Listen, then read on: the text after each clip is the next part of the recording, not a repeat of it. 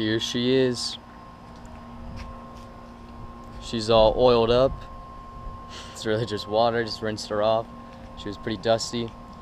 But the van is now black. I painted it using eight cans of Plastidip. It took about seven hours. And this is what it looks like now.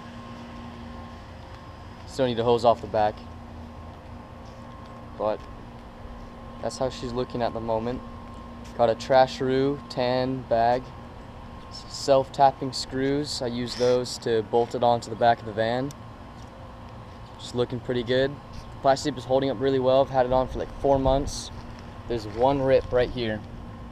I don't know where it came from, but I just need to respray over that and it'll solve that issue.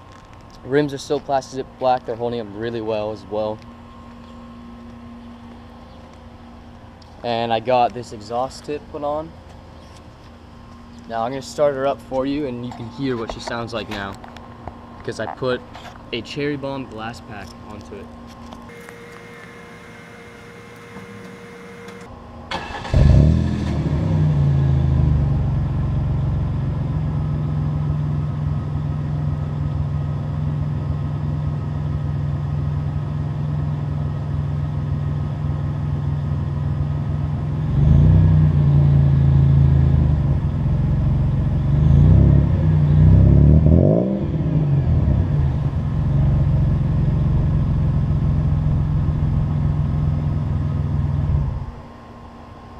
I love it.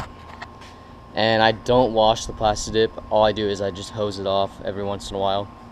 And it's holding up great. So thank you guys for checking this out. Have a great day. So the van is a different color. It's now black. But I got something new. And it's not this dog.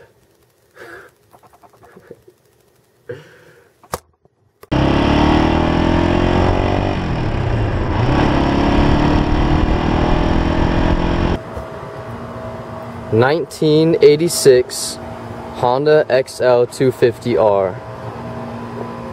Purchased for $850 on Craigslist. I've changed the oil, changed the oil filter, air filter cleaned.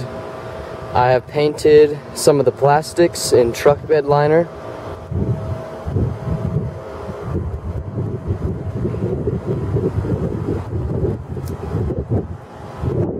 So it's a dual sport motorcycle, a street legal dirt bike. It's the plastics. Truck bed liner, Rust-Oleum spray on truck bed liner. Front plastic, headlight plastic, and both side panels. Uh, look forward, stay, stay around for some more videos with the dual sport.